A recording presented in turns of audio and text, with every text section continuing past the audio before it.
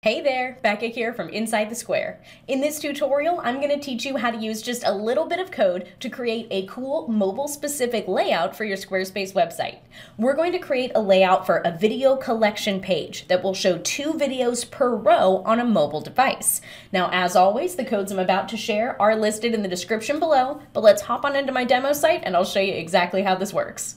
So here we are in my demo site, and this is the code we're using, and it's pretty simple, but there's one super important part I wanna show you because you might think it's not working like I did, okay? So I'm gonna copy this code, and we'll scroll down here. I just have all the demo content for these particular videos.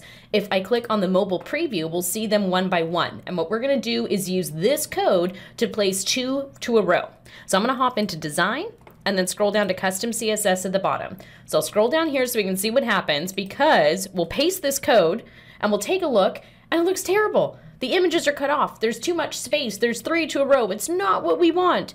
Select save and hang tight because I'm not sure if this is a bug with the Squarespace preview here or what's going on, but the code did work. What I'm gonna do now is hop back to my main menu here. We're gonna hit refresh and reload all of the content on the site, including the custom CSS, okay?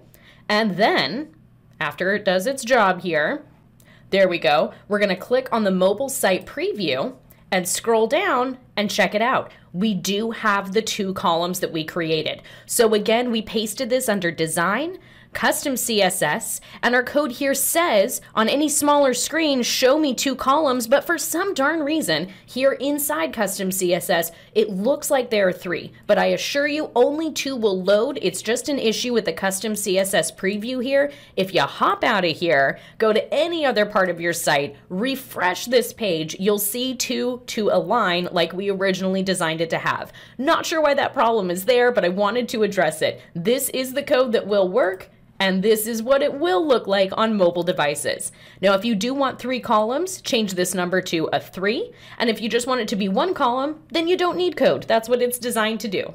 Alrighty, that's it for this tutorial. Again, don't be discouraged if what you see when you're working in the CSS panel is not the two columns that you're looking for. For some reason, you need to navigate out of that CSS panel to see this magic happen.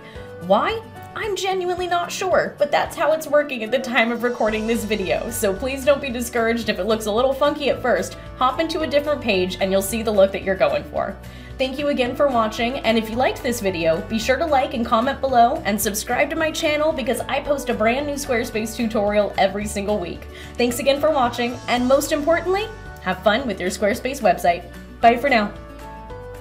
If you liked this tutorial, you'll love my Squarespace CSS cheat sheet. I took all of my pro tips and custom codes specifically for Squarespace and put them into one gigantic PDF. Available now at insidethesquare.co forward slash CSS. That's insidethesquare.co forward slash CSS.